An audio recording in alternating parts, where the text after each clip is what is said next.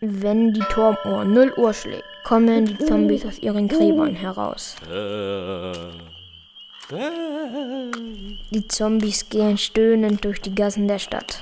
Chantal, Jan und Anne kommen von einer Party.